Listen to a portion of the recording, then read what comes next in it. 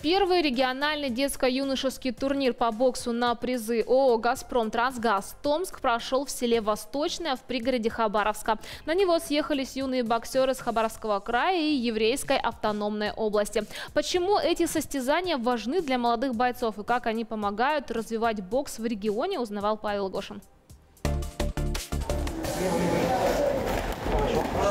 Эти маленькие бойцы с большим сердцем отваги им не занимать. Многие на ринг выходят впервые, но тем не менее не боятся. Ну, вообще бояться нельзя, потому что чем больше ты забиваешь голову боязни, тем больше шансов, что ты проиграешь. Первый региональный детско-юношеский турнир по боксу на призы ООО «Газпром Трансгаз» Томск собрал более 120 бойцов из разных уголков Хабаровского края и Еврейской автономной области. Столь солидную организацию турнира удалось показать благодаря партнерам состязаний. Компания «Газпром Трансгаз Томск» – это социально ориентированная компания. Вот. И больше всего, конечно, мы уделяем внимание, во-первых, детям, вот, с целью, э, чтобы дать им возможность проявить себя в каких-то состязаниях и, возможно, даже для кого-то из детей дать старт э, в мир большого спорта.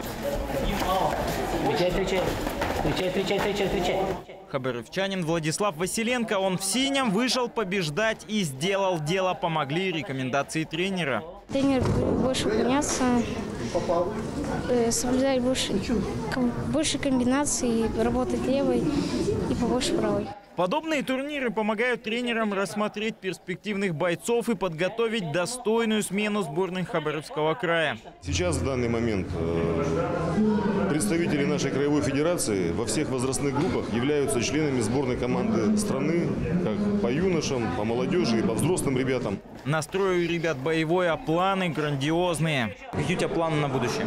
Э, Стать олимпийским чемпионом. Что ты для этого делаешь? Я захожу на тренировки каждый день и стою три раза в неделю в парах.